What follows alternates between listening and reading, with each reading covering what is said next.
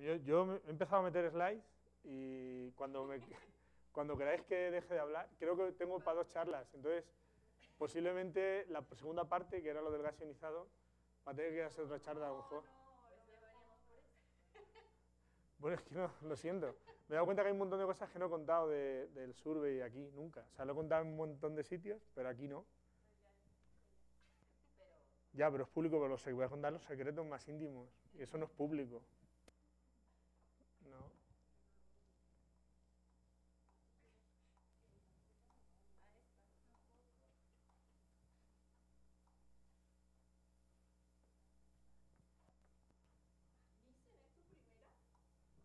Sí, señora. El primer coloquio. ¿Y de dónde eres tú? Que no te reconozco la- el acento. Colombiano. Ah, no. Papá era árabe.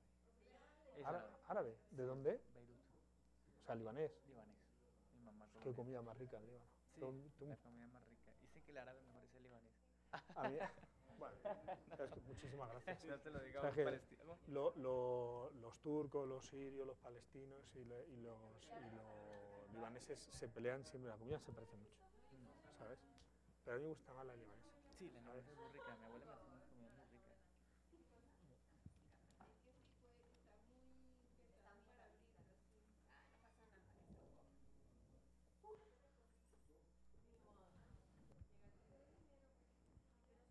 Bueno. Pues este, un minuto, ¿no? Un minuto ya, da igual, sí. La gente habrá visto el título y habrá dicho otra vez el pesado este, hablando de lo mismo. ya, sí. No, pues. Prometo que es la última vez que hablo de esto. No, no, no, no, ya se acabó. Ya no voy a hablar de esto más porque me aburre mucho.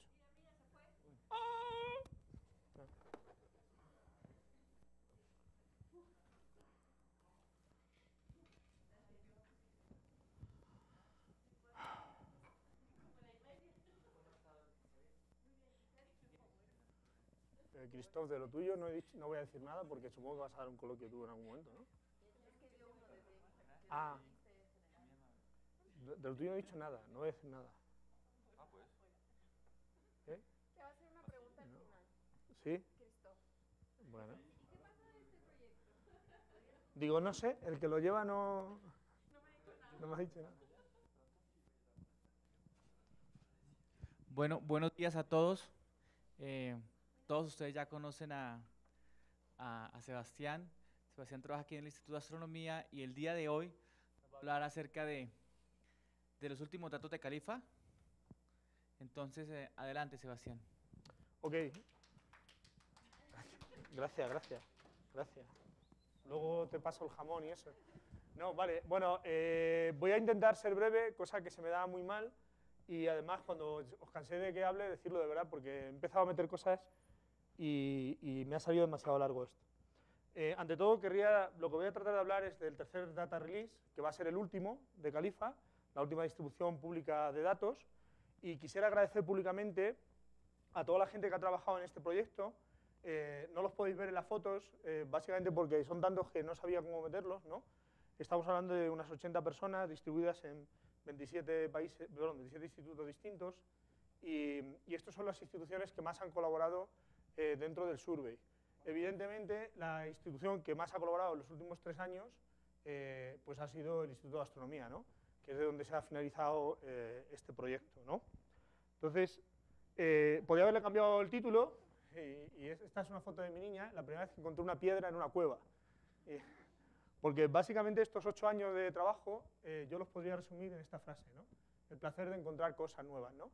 Eh, eh, una de las cosas que más eh, me han llenado de Califa y a la gente con la que he estado trabajando es que eh, estábamos explorando aguas prácticamente inexploradas en muchos aspectos y entonces encontramos un montón de cosas que luego cuando íbamos a gente muy sesuda decía, como yo, eh, Sofía, lo siento, esto es una piedra, ¿no? O sea, nos decía, no, no, esto ya se sabía y tal. Algunas cosas eran realmente nuevas y otras pues eran nuevas para nosotros, pero el primero que lo encuentra pues siempre es muy emocionante. Entonces voy a hacer un resumen eh, rápido de, del- de las características del survey. Eh, Califa, el nombre significa Calar Alto, que es el observatorio donde se tomaron los datos. Legacy, eh, es un proyecto de legado que está supuesto y di- diseñado desde el principio para dar los datos al público. La IF es por Field Spectroscopy y la A viene de ARIA, porque no sabíamos qué poner, y, y entonces, y tenía que sonar bonito, porque Califa era un, pues, eh, del tiempo de la, de la ocupación árabe de España, que no fue una ocupación, estuvieron allí 800 años, todos tenemos sangre árabe en España, ¿no? Yo casi la mitad. Entonces, eh, de ahí viene, eh, está formado, como he dicho, por 80 eh, 82 miembros de 13 países distintos. Aquí no cuento a los estudiantes, no porque tenga un ánimo en contra de los estudiantes, sino simplemente porque van y vienen durante un periodo de seis años, sobre todo si son de maestría, y entonces es un número que fluctúa mucho, ¿no? ¿Vale? Entonces, bueno, se nos dieron unas 350 noches oscuras. Por supuesto, no todas las noches fueron útiles. Al final utilizamos 273 noches, distribuidas en principio durante cuatro años. Al final se extendió, porque se, se estropeó el telescopio, hubo una serie de problemas, y al final se ha extendido casi durante eh, seis años de periodo de observación. Y eh, los principales objetivos, esto ya lo he contado varias veces, de este survey eran caracterizar las propiedades espacial, espectroscópicas espacialmente resueltas de las galaxias en el universo local y utilizar estas propiedades para tratar de inferir los procesos evolutivos que han dado lugar a las galaxias tal y como las observamos hoy en día. Bueno, hay bastantes predecesores, pero el mayor, el más importante para mí fue Pinks, porque definió un montón de cosas de qué es lo que debíamos hacer y un montón de cosas de qué es lo que no deberíamos hacer. Si me da tiempo voy a contar eh, qué es lo que no se debe de hacer o lo que nosotros pensamos que no se debería hacer. Bueno, la foto básicamente, arriba está eh, eh, Armando Gil de Paz y Rob Kennicott, porque los tres fueron los que presentamos la propuesta inicial al observatorio para pedir este tiempo, ¿no? Fueron los tres copiáis de esto. El, los casos científicos los diseñó un grupo de gente, voy a enseñar fotos a ver si me acuerdo de los nombres de todos, no, en serio. El, el primero que hay ahí es Ben Johnson, que ya no trabaja en el survey, Luz Wisowski, Rob Kennicott, Rosa y Pepe Vilchez. Eh, nos reunimos en, en Madrid durante prácticamente tres días, 11 horas, para definir lo que serían los objetivos científicos del survey. Los objetivos científicos del survey, básicamente, eh, como he dicho antes, es caracterizar las propiedades especialmente resueltas de las galaxias, espectroscópicas, y sobre todo tratar de entender por qué las galaxias en el universo local presentan una característica principal y es que son bimodales. Es decir, por qué hay dos tipos de galaxias en general. Las galaxias que forman estrellas, eh, que rotan, estoy siendo muy generalista aquí, ¿eh? que rotan, que tienen un, una, una, eh, están dominados por, una, por un perfil de brillo de tipo disco eh, y, y, tienen brazos espirales, ¿no? y son ricas en gas ionizado, y las galaxias eh, que llamamos retiradas, que básicamente son elípticas, eh, que, que puede que roten, pero que no están soportadas por rotación, eh, que tienen poco gas ionizado o ninguno, eh, y que eh, albergan AGNs supermasivos en general. Entonces, se sabe por estudios en imagen y espectroscopía, sobre todo en grandes urbes como el Sloan, que las galaxias del universo local y durante los últimos 8 gigaños presentan esta bimodalidad, pero todavía no sabemos por qué presentan esta bimodalidad. Y sobre todo no sabemos cuáles son los procesos eh, que dan lugar a la transición entre uno y otro. Sabemos que tiene que existir una transición entre un tipo morfológico o un tipo, digamos, eh, de galaxias y el otro tipo, simplemente porque las galaxias elípticas han crecido en masa en los últimos 8 gigaños aproximadamente un factor 2, estadísticamente, aunque hay discusiones sobre este tema y Kevin Bondi presentó un resultado controvertido sobre esto, que habían crecido en tamaño pero no en masa. Eh, da igual, ha habido una evolución eh, y sin embargo las galaxias espirales es donde se forman estrellas. Entonces, si las galaxias espirales son donde se forman estrellas en los últimos 8 gigaños y es en las elípticas son las que acumulan masa, tiene que haber una transferencia de un tipo al otro. También esta transferencia tiene que ser rápida, porque si no fuera rápida, no tendríamos una bimodalidad, sino que tendríamos un continuo, y no habría un valle verde eh, entre las dos distribuciones. Esto es muy general, pero básicamente tratamos de entender, eh, a partir de la caracterización de las propiedades que observamos ahora, qué es lo que ha pasado con esas galaxias. Yo siempre digo que esto es básicamente como hacer una foto del Zócalo, el día de, del grito de, de Hidalgo, ¿no? y luego decir cómo llegó la gente allí. Pues se parece bastante, la verdad. Bueno, eh, este es el instrumento con el que estamos haciendo el survey, o el que estábamos haciendo el survey, porque ya se ha terminado oficialmente la fase de adquisición de datos. Eh, se llama PIPA, que está en el telescopio 3,5 metros de canal alto, que es este monstruo precioso. Y estas dos fotos eh, corresponden a Martin Roth, que fue la persona que diseñó e hizo el instrumento, el PIMAS. Eh, no encontré las la fotos de Marfenheim y, y Andreas Kelz, que fueron junto conmigo y otra pila de gente, estuvimos ahí eh, puliendo fibras para hacer el mazo de fibras. Y el que está ahí abajo, más jovencito, ahora ya no, sé, ya no está tan jovencito, es el que básicamente se ha tragado dos tercios de la noche de observación, Damián Mast. O sea que eh, toda la, casi toda la culpa de lo bueno y lo vano de los datos es, eh, la tiene él, lamentablemente. Sobre todo lo bueno. Eh, es una persona muy, muy tranquila, lo cual agradezco, porque yo soy muy, muy nervioso.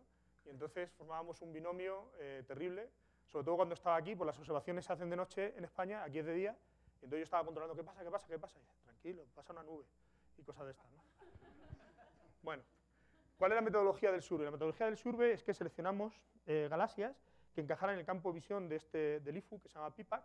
Es un IFU que tiene un campo de visión bastante grande, 74 por 64 segundos de arco, con un cubrimiento del 60%, y eh, las eh, seleccionamos para que encajaran en el centro. Si me da tiempo voy a mostrar por qué hicimos esto. Y lo hicimos en función de los resultados de PINGS y del el, el- el horroroso proceso de hacer mosaicos con IFUs, eh, par- por el cual no seleccionamos galaxias mucho más grandes. Entonces, eh, este es el IFU, eh, lo que tenemos en la parte central es eh, una imagen del Sloan. Entonces, este es básicamente lo que obtendríamos con una sola exposición. En la parte central tenemos 331 fibras, las fibras son de 2,7 segundos de arco. Para poder reconstruir todo el cubo, lo que hacemos es un sistema de dithering y luego después reconstruimos la, la imagen. Lo que vemos aquí es una reconstrucción de la imagen a partir del cubo, no es, no es una simulación. O sea, que tomamos los datos del cubo, sacamos las bandas del Sloan y reconstruimos. Y las diferencias que hay son básicamente la diferencia de resolución espacial. En Sloan tenemos una resolución de aproximadamente un co- 1,5 segundos de arco y eh, nosotros tenemos una resolución de 2,5 segundos de arco. Los cubos son eh, ligeramente menos profundos que el Sloan en, en algunas eh, zonas y más profundos en otras. En la parte eh, más azul es más profundo que el Sloan.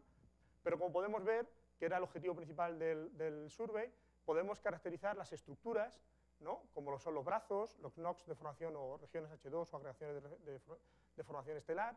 Podemos ver la barra claramente, podemos ver el bulbo de la parte central y por lo tanto podemos obtener eh, las propiedades espectroscópicas espacialmente resueltas de este tipo de estructuras hasta el límite de resolución que tenemos. El límite de resolución eh, físico que tenemos es del orden de un kiloparsec. Entonces, todas aquellas estructuras por debajo de un kiloparsec no somos capaces de resolverlas, aquellas estructuras por encima de un kiloparsec o del orden del kiloparsec, pues somos capaces de resolverlas. Eh, observamos eh, en dos bandas eh, un grating de alta resolución, que es, bueno, de alta resolución para este caso, el que esté haciendo estrellas se muere de la risa con alta resolución, pero de- del orden de eh, 1700, eh, que cubre la parte azul del espectro, donde están estas líneas de absorción tan pronunciadas, y básicamente es- esta parte se observó para obtener una cinemática buena de las poblaciones estelares. Y luego tenemos una- un grating de baja resolución que cu- cubre todo el rango espectral, eh, del orden de eh, 850 en resolución, el rango espectral entre 3700 y 7500, en realidad 7200 si tiene uno en cuenta el viñeteo del, de la CCD, y este se utiliza, se utiliza básicamente para eh, eh, poder analizar eh, las poblaciones estelares, la composición de las poblaciones estelares de, de las galaxias y eh, las líneas de emisión. Eh, esto ya lo he hablado bastantes veces. Eh, Califa observa una muestra que tuvimos que pensarla bastante tiempo, entre otras cosas porque el telescopio estuvo parado durante ocho meses y tuvimos mucho tiempo para pensarla y de hecho cambiamos la muestra después de haber observado las primeras 21 galaxias.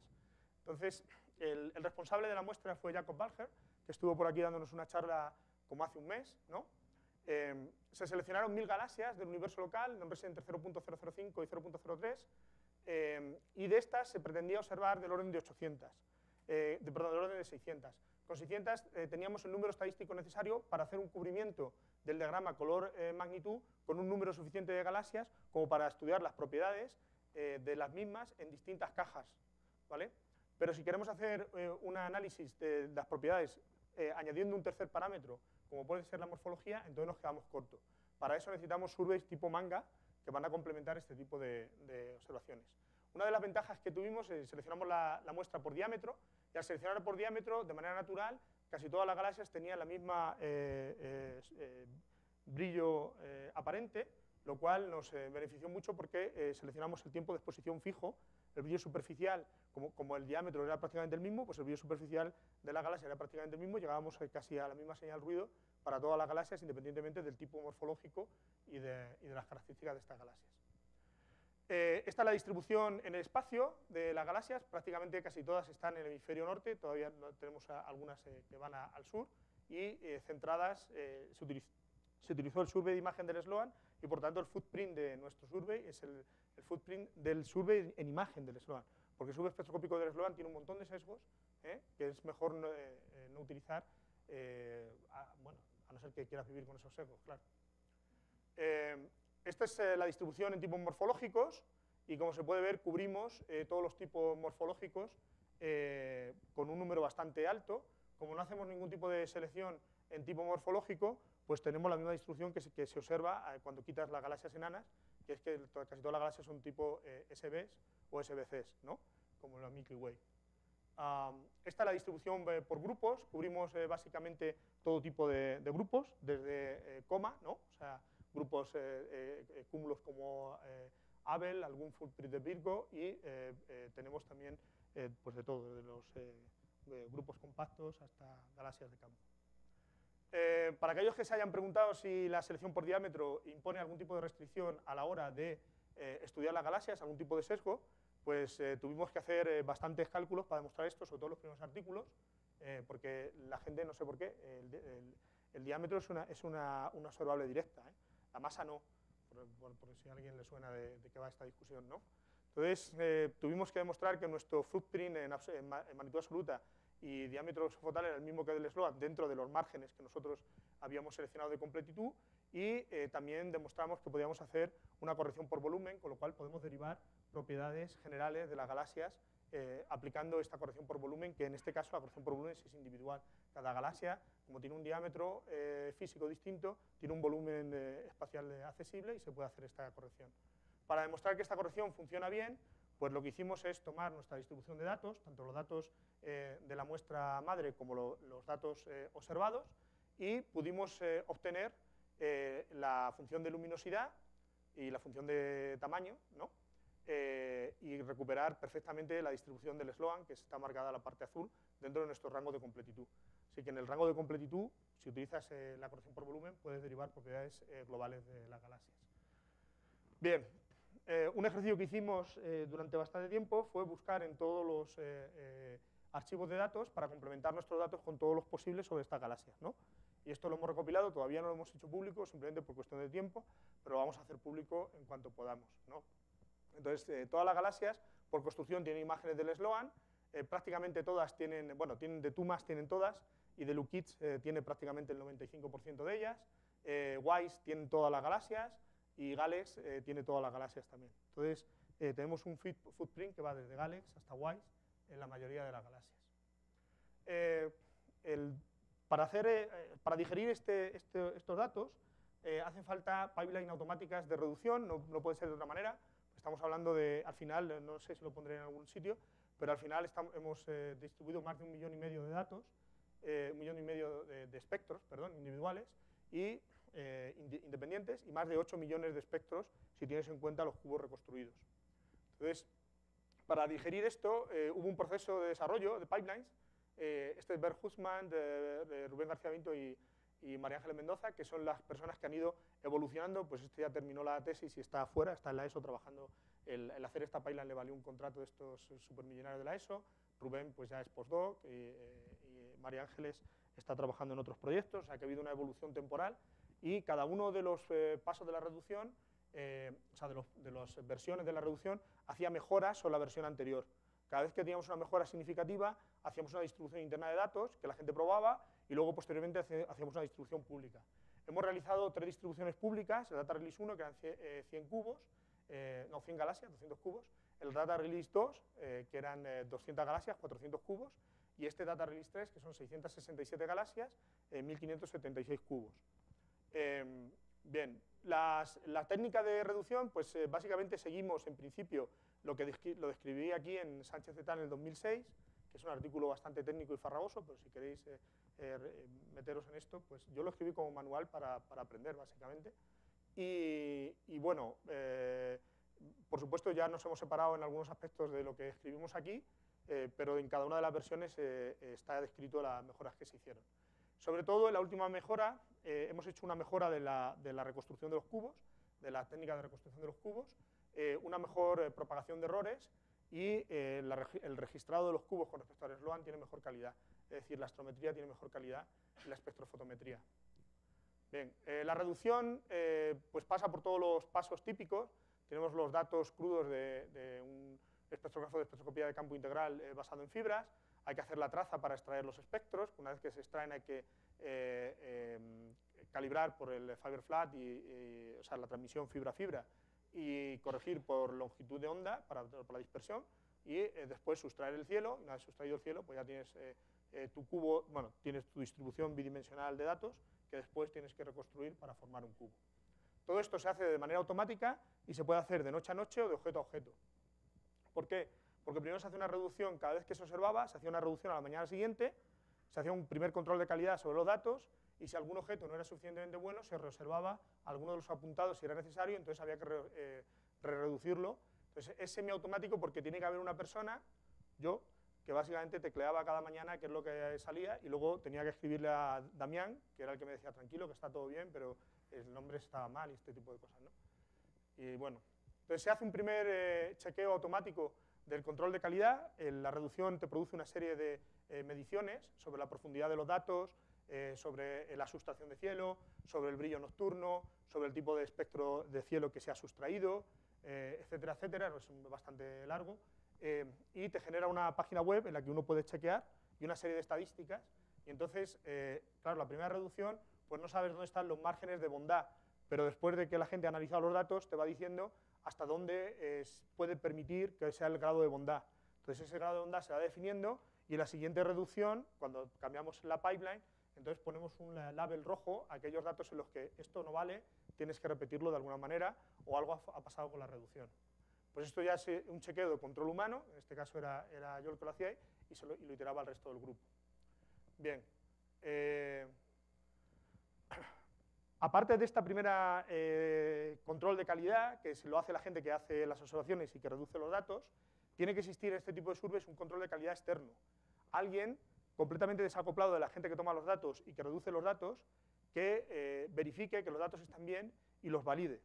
Eh, esta segunda validación es extremadamente importante porque aquel que está observando, todos los datos son buenos. Se ha echado media hora y ha pasado 20 nubes, pero esa media hora ha sido terrible, porque son las 4 de la mañana, está totalmente dormido, el telescopio cuesta mucho y entonces realmente uno trata de maximizar, ¿no? Eh, el que es más bien responsable del sur, en este caso era yo, pues trataba de maximizar, ¿no? Y, aquí los malos de la película, que no son los malos, sino que realmente son los que ponían el freno, ha sido eh, Knut Janke en, las dos primeras eh, eh, versiones de la reducción de datos y este, Stefano, Stefano Civetti en la última, ¿no? Entonces, para que veáis el grado de discusión, en la última distribución de datos estuvimos 10 días discutiendo por una galaxia, si sí o si no. Y al final me rendí. Dije, vale, ya está, pues nada, la, tiramos a la basura y ¿qué le vamos a hacer? ¿no? Entonces, esta gente produce medidas externas, como por ejemplo la comparación eh, entre el flujo en una apertura de 30 segundos entre la imagen del Sloan y, Califa o los efectos de color. Tenemos un pequeño efecto de color en, los cubos comparado con el Sloan que todavía no tenemos claro cuál es el origen. Es muy, muy, muy, muy pequeño, pero está ahí, ¿vale?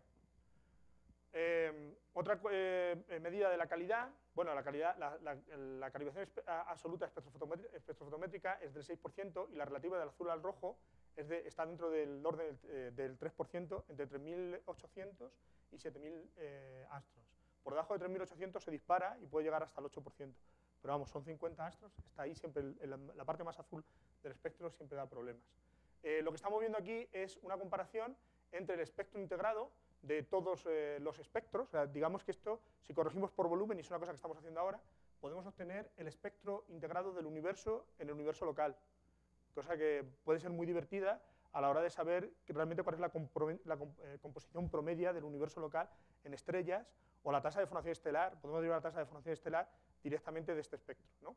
Entonces, eh, le hemos ajustado una, con síntesis de poblaciones estelares, lo que vemos aquí es de los 8 eh, millones de espectros, a cada uno se le ajusta un, eh, modelo de, síntesis de poblaciones estelares y lo que vemos en naranja es el promedio de los modelos. O sea, no, hemos ajustado el espectro final, sino que es el, promedio de los modelos que se han ajustado. Lo que vemos abajo es el residuo y eh, si dividimos esto, el C residuo, por la tasa de error esperado, ¿no? la, que te, dice la propagación de varianza a lo largo de la reducción, pues debe ser una gaussiana centrada en cero, ¿eh? y con una anchura de 1. Eh, esta es la distribución en azul que observamos. daros cuenta del número que está aquí, a ver si es que soy capaz de dar el tembleque que tengo, que es 2 por 10 elevado a, 7.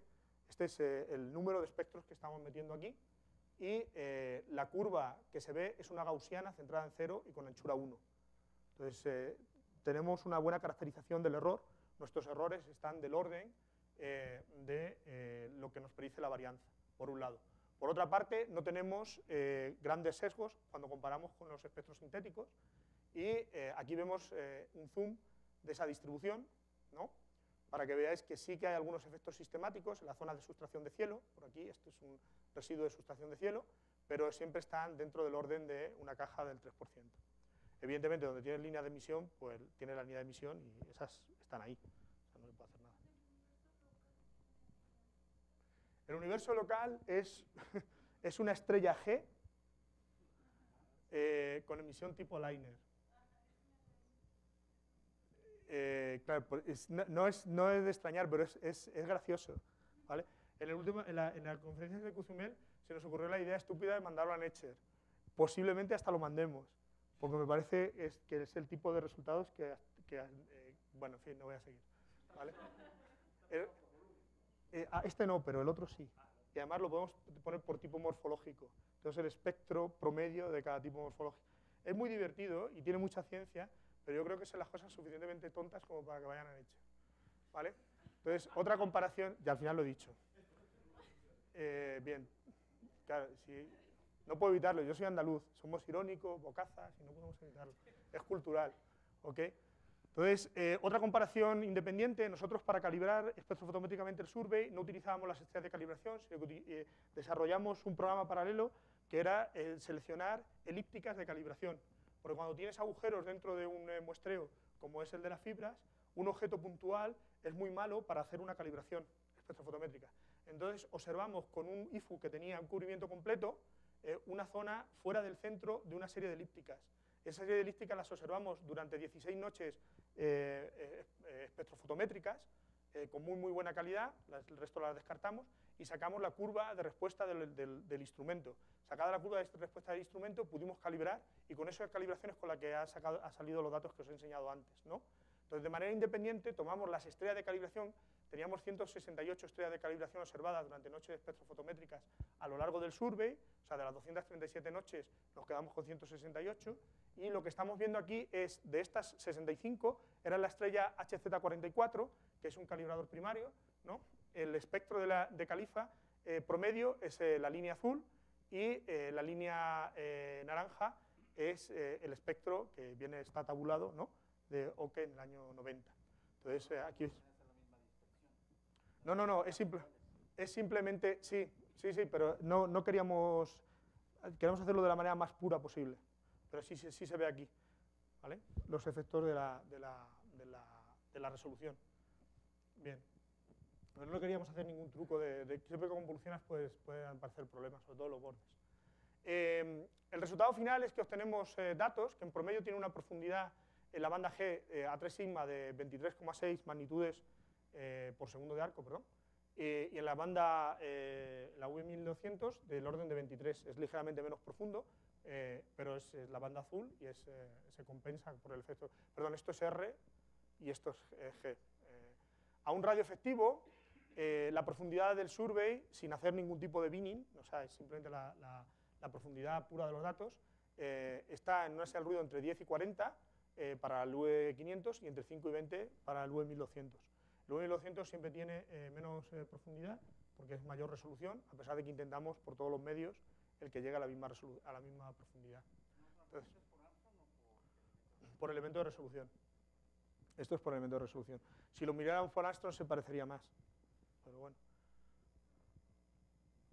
Porque tiene más, eh, este píxel es más gordo. Bien, eh, otra de las cosas que mejoramos en, la última, las dos últimas iteraciones con los datos fue el registrado, ¿no? Entonces, que cada cubo, bueno, cada eh, exposición, antes eh, de, crear el cubo final, hacíamos un registrado para cada longitud de onda con las imágenes G y R del Sloan. Entonces recentrábamos, corrigiendo por refracción óptica diferencial, y teníamos el, sistema de, el, World Coordinate System anclado al Sloan. Sea, que, es, que propagamos los errores del, del, del Sloan. Este es el proceso típico, esta es eh, la imagen reconstruida a partir de uno de los apuntados. Esta es la mejor eh, posición que se ajusta en función de la, de la diferencia fotométrica eh, con el Sloan. O sea, se obtiene la fotometría en las imágenes del Sloan eh, fibra a fibra y se compara con la fotometría fibra a fibra eh, que se obtiene eh, de, los, de los datos. Y, este, y se va moviendo ¿no? alrededor de una posición, el típico registrado de toda la vida, y se obtiene por un G cuadrado cuál es el mínimo. Evidentemente hay casos eh, donde esto no funciona tan bien, la galaxia es de muy alta inclinación eh, o que tienen una estrella o varias estrellas en el campo, eh, generan problemas. Entonces hay un, control de hay, un, hay un flag de calidad, si vais a los datos, hay uno que un flag que se llama eh, register true, que básicamente se ha hecho esto, y register false, simplemente nos creemos el apuntado del telescopio, porque no se puede ir a, a más en este aspecto. Bien, el resultado final es que los cubos tienen una resolución de 2,5 segundos de arco en, la PSF, está por debajo del tamaño de la fibra, lo cual era de esperar, en función de las simulaciones que hicimos, cuando haces dithering de tres posiciones. Pero ir mucho más allá de esto es complicado. Eh, la función que describe mejor la PSF, la PSF se midió a partir de las eh, eh, estrellas que estuvimos observando con dithering y a partir de estrellas de campo dentro de, los propios cubos y coincidían bastante bien. Eh, es una función de Moffat o puedes ajustarlo por dos gaussianas, preferimos utilizar la, función de Moffat porque da mejores resultados y estos son los parámetros. Los parámetros de ajuste están incluidos en cada cubo, cada cubo eh, también tiene una estimación de la PSF que tiene, básicamente convolucionando con una función de este tipo eh, la imagen del Sloan una vez registrada y comparándolo con la imagen de, de- de Califa. De esta manera podéis eh, eh, hacer PSF matching de cualquier imagen que tenga eh, peor resolución o mejor resolución que la resolución de Califa. Si tiene peor, pues no, claro. Entonces, este es un ejemplo de eh, cómo se ve la imagen en banda ancha, esta es la banda V, del, en el Data Release 3, el Data Release 2, eh, y esto sería una convolución de la imagen del Sloan, perdón, de la banda G, eh, a 2,3 segundos de arco, que es el, el mejor, la mejor PSF para este, para este eh, cubo. Esta es la imagen de H alfa convolucionada a 2,3 segundos de arco, obtenida de manera directa con el, William Herschel, y esta es la imagen que obtenemos en H alfa, y como vemos se parece bastante. ¿no? O veis que podemos eh, separar los distintos NOx de formación estelar, eh, lo cual eh, nos permite estudiar las agregaciones de regiones H2. Bien, a la resolución de un, de un kiloparsec.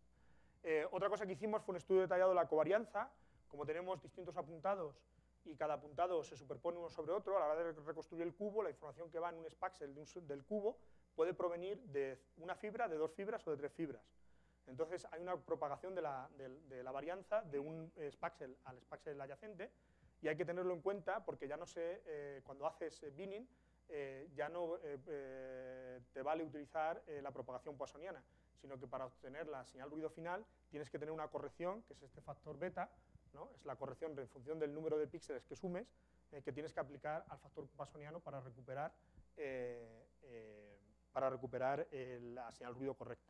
¿ok? Entonces, si haces binis como el bini de Voronoi, si no metes este factor, los binis finales tienen menos señal ruido de la que deberían porque estás agregando píxeles que están correlacionados. Bien, como ya dije, hemos hecho tres distribuciones de datos, hemos hecho un control de, calidad. hasta la fecha hay más de 20.000 eh, eh, descargas eh, de datos. Ahora enseñaré descargas de cubos individuales, evidentemente. Si normalizas por el número de cubos, pues es eh, mucho menor. Y en el Data Release 3, como ya dije, hay 667 galaxias, 1.576 cubos.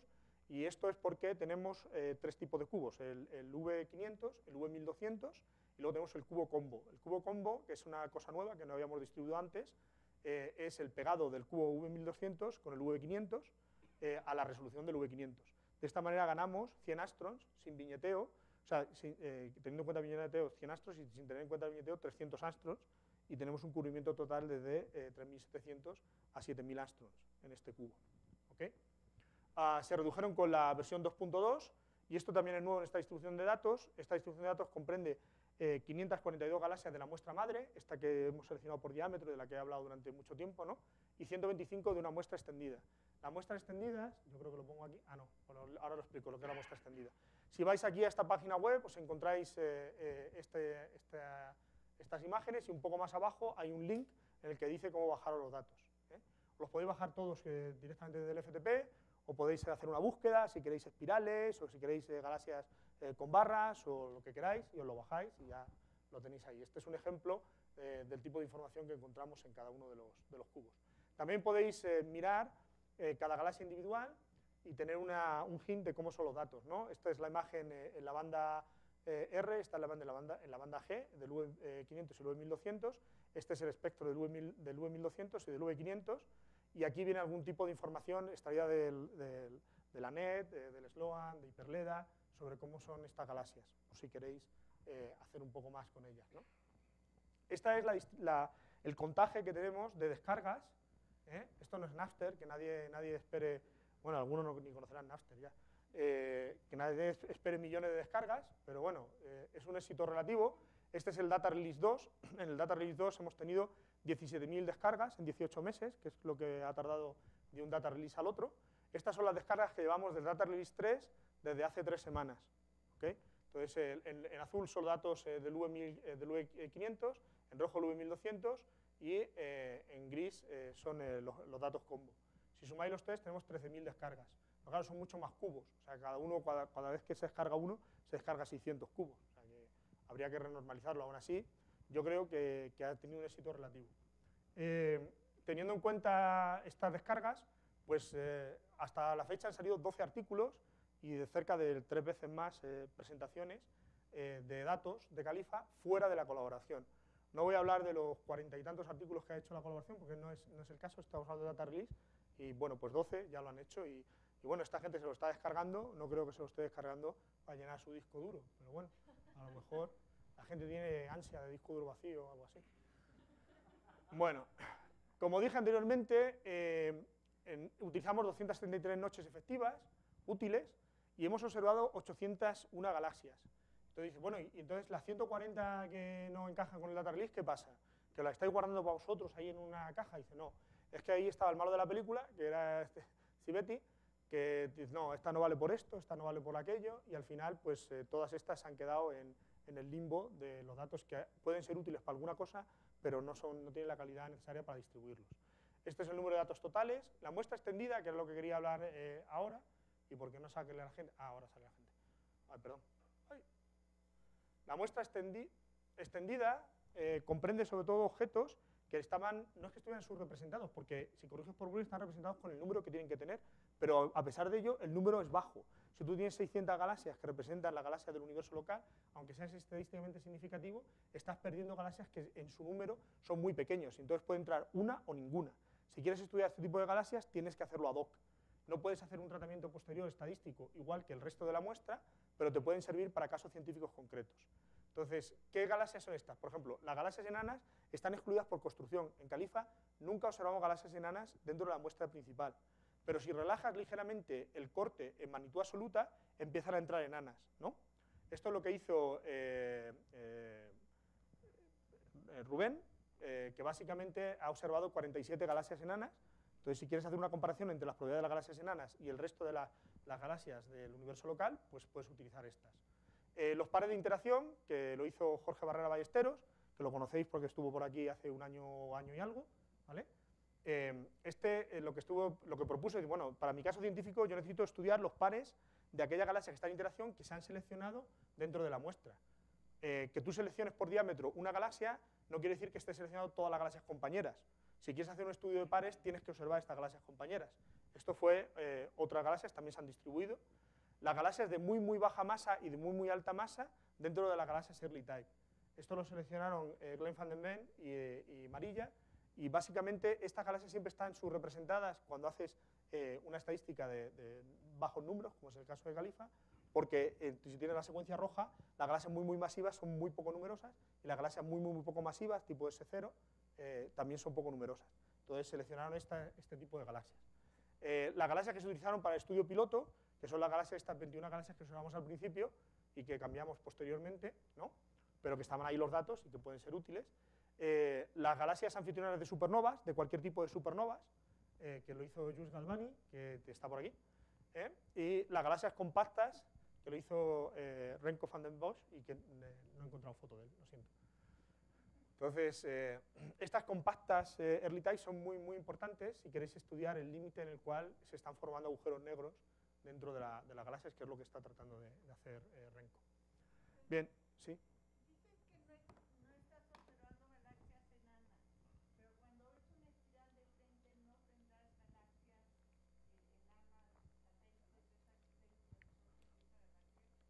Sí, se dan pocos casos, pero sí hay algunos de galaxias enanas que podamos ver y que están enfrente justo.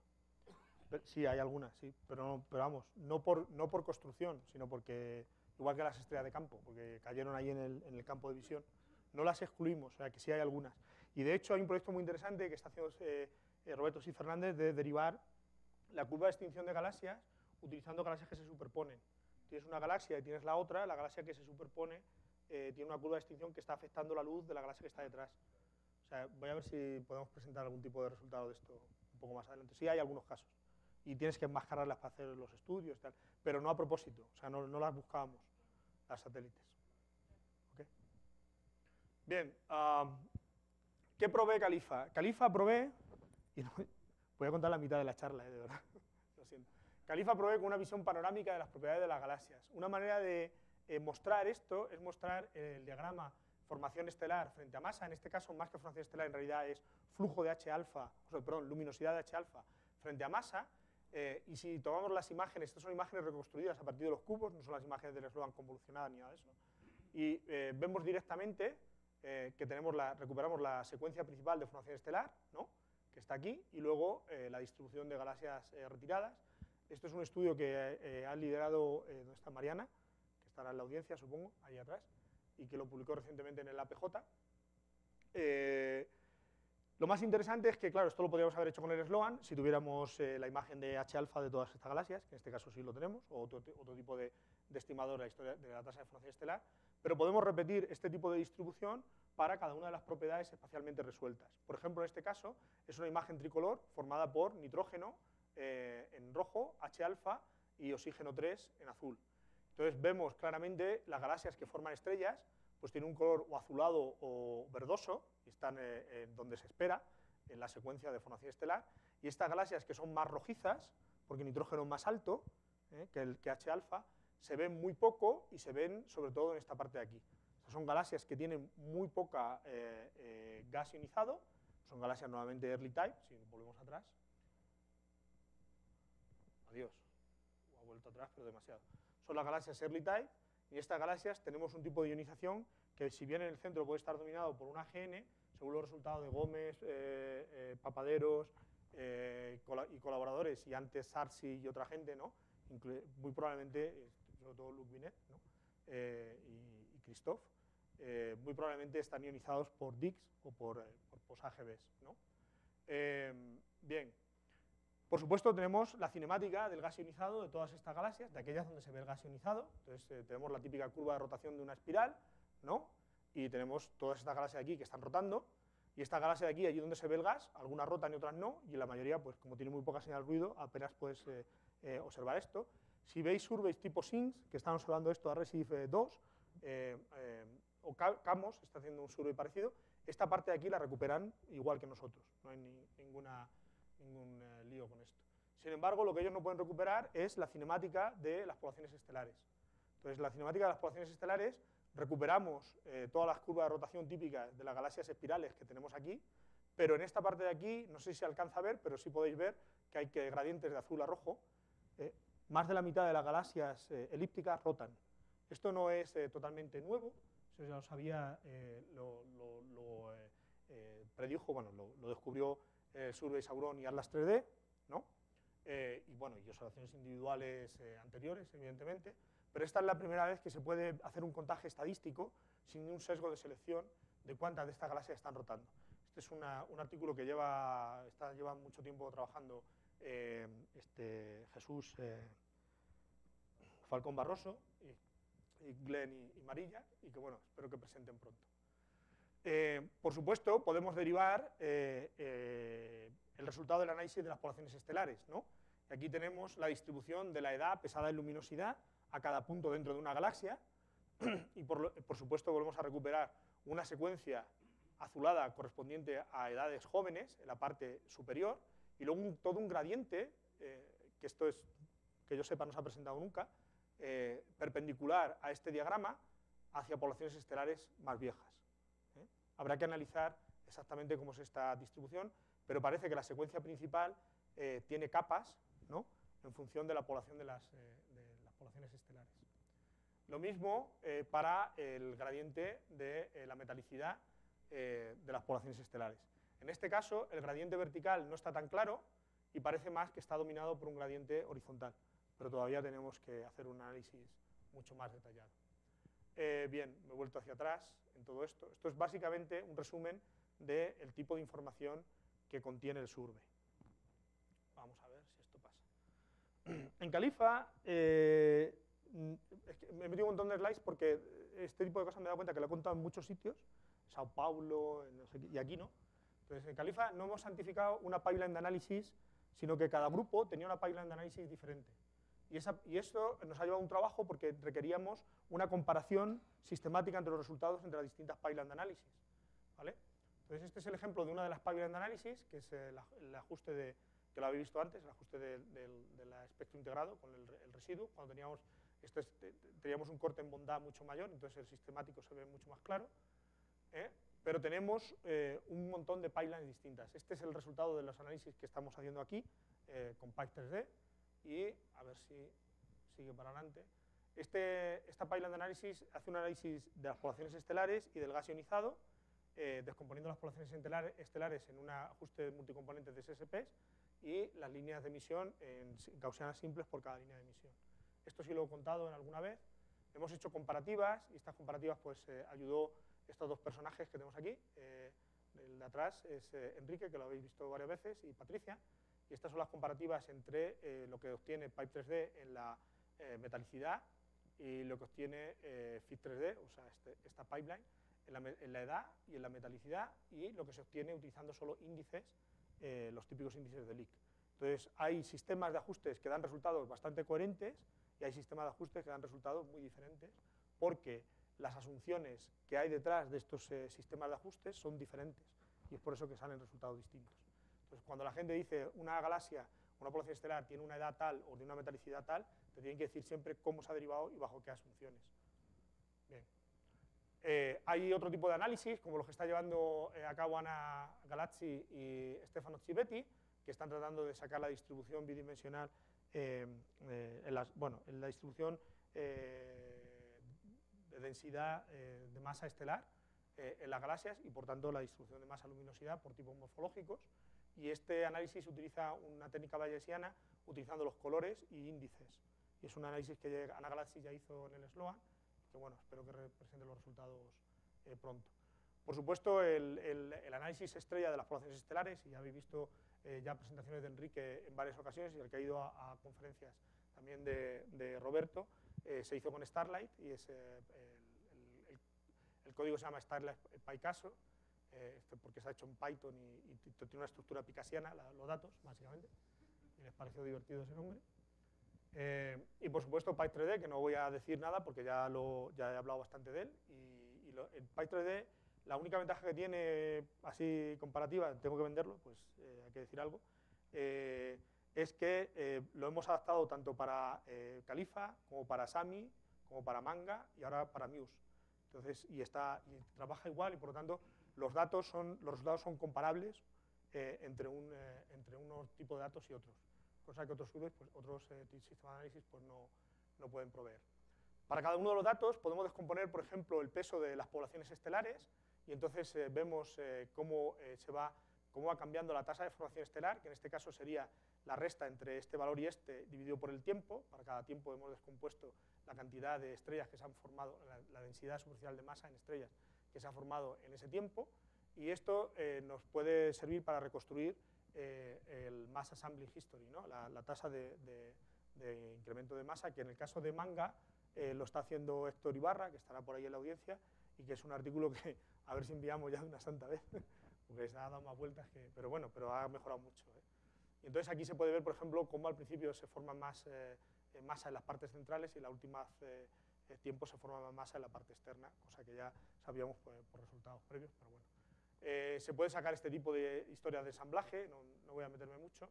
Aquí puedes sacar eh, la historia acumulativa de la tasa de formación, la, de estelar eh, a distintos radios. Lo que estamos viendo aquí es la cantidad de masa normalizada en estrellas a distintos radios, donde el color es el radio, y se ve que la parte central crece muy rápido y alcanza el 80% muy rápidamente, y en la parte externa pues tarda más. Este es el, el típico indicador de crecimiento inside out. Eh, se puede sacar también cómo es el perfil de brillo eh, a distintos tiempos. Esto es un estudio que está haciendo eh, Jeff eh, Bárcenas, que estará por ahí en la audiencia, va a ser parte de su, tesis de maestría. Para distintas galaxias se obtienen distintos resultados, evidentemente. Las galaxias de menos masa todavía estaban ensamblando estrellas a día de hoy, las de más masa pues el ensamblar las estrellas hace ya bastante tiempo. Voy a ver si termino ya, ya, ya rápidamente. Por supuesto, pues, tenemos eh, eh, las propiedades del gas ionizado, tenemos eh, las líneas de emisión eh, más intensas, esto ya lo he mostrado alguna vez, pero también tenemos líneas de emisión débiles. Aquí hay 52 líneas de emisión analizadas, en muchos casos tenemos ruido, pero nótese, por ejemplo, el helio, que se detecta en stock de formación estelar, o 4363, que se ve aquí y aquí. Entonces, si sacamos un espectro de esa zona, es de otra galaxia, pero podemos ver ese pico de 4363, y esos picos de 4363 nos han eh, servido para eh, obtener un nuevo calibrador eh, que lo hizo Rafael Amarino, un estudiante que terminó el año pasado la tesis de doctorado y ahora está trabajando en Zurich con Muse. Se nos van todos a, Muse y a Manga, todos los estudiantes de Califa. Por eso había que terminar Califa. Bueno, hemos quedado sin mano de obra, básicamente.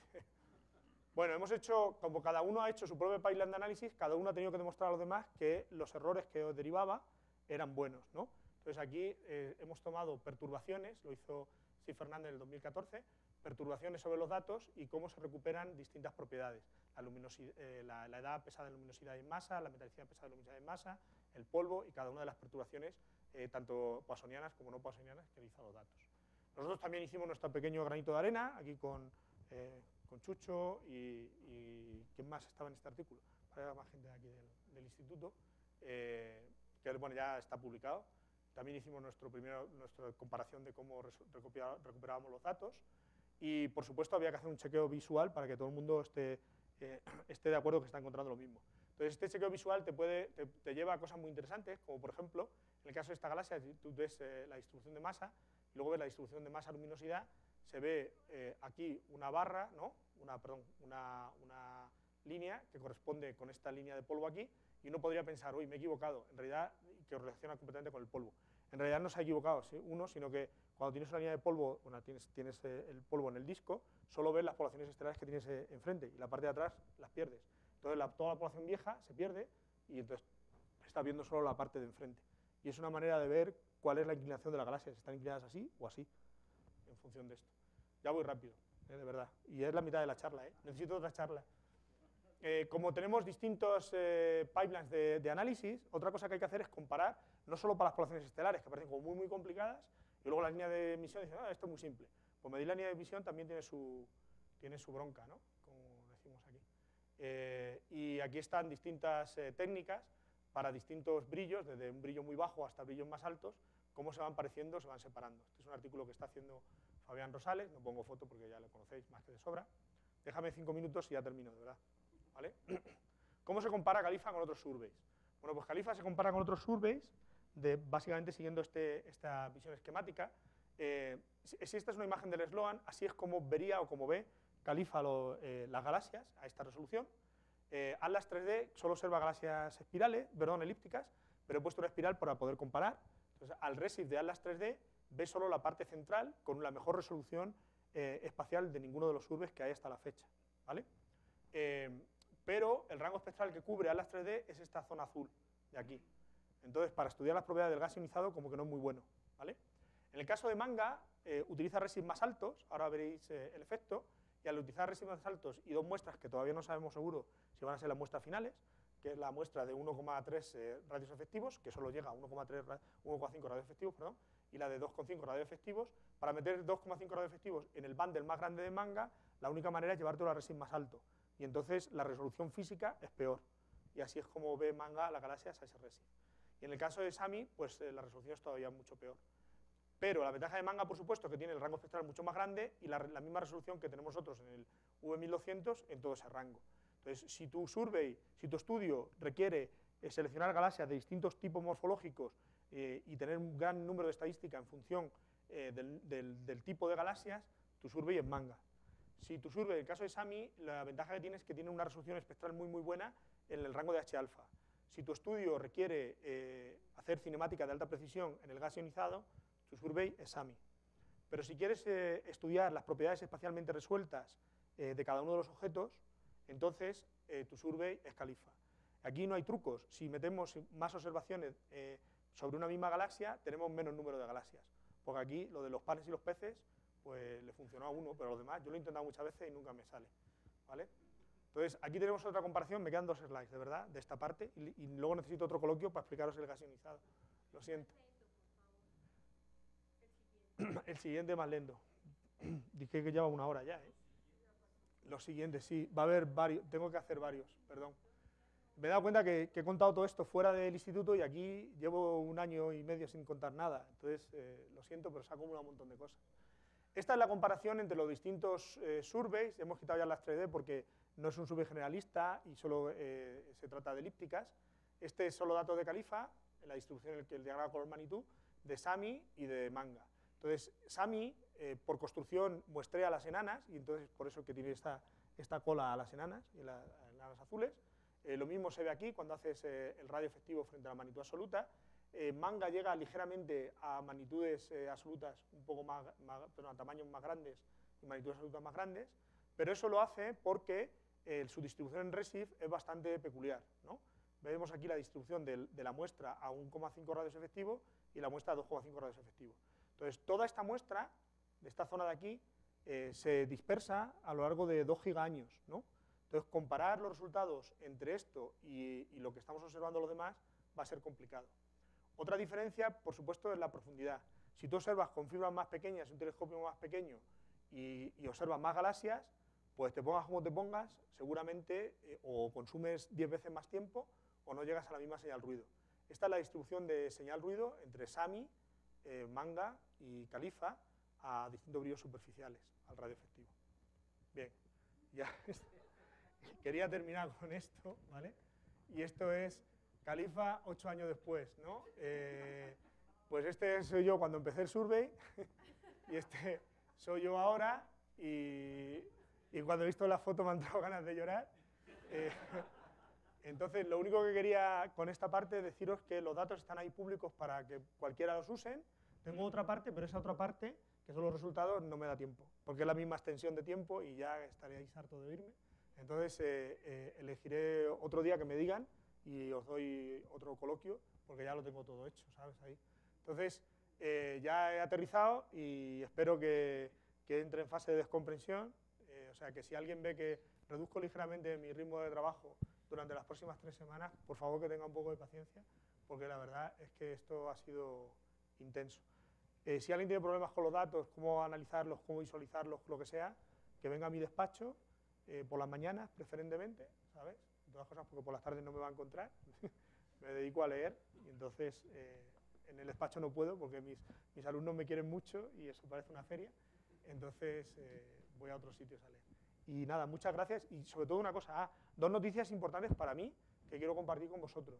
La primera es que desde ayer ya me notificó la Secretaría de Relaciones Exteriores que soy mexicano. Entonces, aquí ya que nadie me diga español. Y la segunda, que quiero agradecer públicamente al instituto y como no está William, que fue el que me trajo principalmente, y a la gente que me trajo aquí a este instituto por haberme permitido poder trabajar aquí durante estos años, que ha sido maravilloso y que esto no se podía haber terminado si no hubiera venido aquí. Me había dado el grado de tranquilidad que me hacía falta. Así que muchas gracias.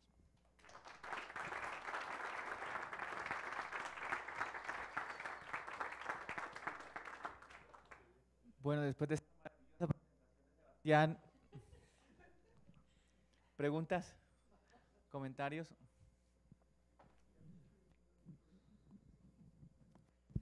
Este, la galaxia que representaba un promedio de galaxias con líneas de emisión, ¿hay un criterio para decir cuáles entran en ese promedio? No, o sea, ahí tomamos todos los espectros, los hemos corregido de RESIF y los vamos poniendo uno encima de otro. Eh, Hay, te he enseñado dos espectros. En uno sí que hicimos un corte en señal ruido, entonces, claro, evidentemente ahí sí, y ahí se ve el sistemático del residuo bastante bien. Pero el que he mostrado el que está en el artículo, que se ve con todo el ruido, es los 8 millones y medio de espectros pegados. Y esto es muy divertido, porque primero es pegado, tal cual, es lo que hemos mostrado en el artículo, pero ahora estamos corrigiendo por volumen. Por volumen. O sea, la única, la única diferencia es que cada galaxia va a estar pesada por su volumen accesible y entonces estamos viendo la luz del universo local. Me parece muy divertido. O sea, ya tengo hasta el título, Manetcher. es tan absurdo que lo mismo cuela. ¿eh?